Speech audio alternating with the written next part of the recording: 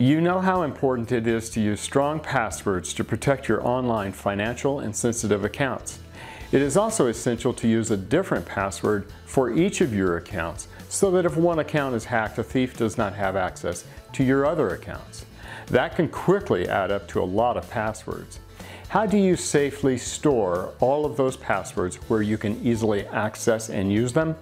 A password manager can help. You can think of a password manager as a vault that safely stores all of your passwords. You only have to remember the password to the vault, the master password, in order to open the vault and access your passwords. Your password manager will also sync your information between your desktop, smartphone, and tablet so that you have them wherever you are. You will never have to worry about losing or forgetting a password again. Password managers do more than safely store passwords. They make it easy to sign into websites, they can create strong passwords for you, and alert you when your passwords are weak or need to be changed. They can save other personal information as well, things like addresses and credit card information. How do you get started with a password manager? Choose one that works with your devices and has the features you want. Most password managers offer some level of free account and add features for a small price.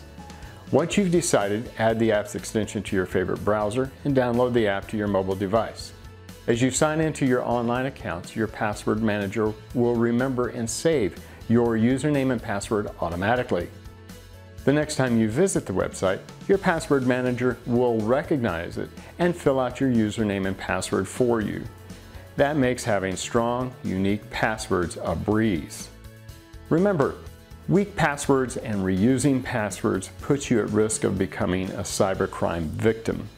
Password managers can take the hassle out of using strong, unique passwords, making you safer online. Thanks for watching.